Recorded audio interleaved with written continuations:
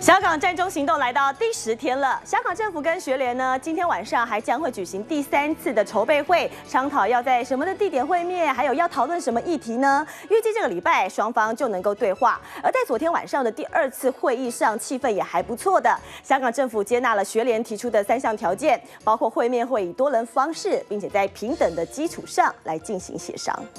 第一呢，就係、誒、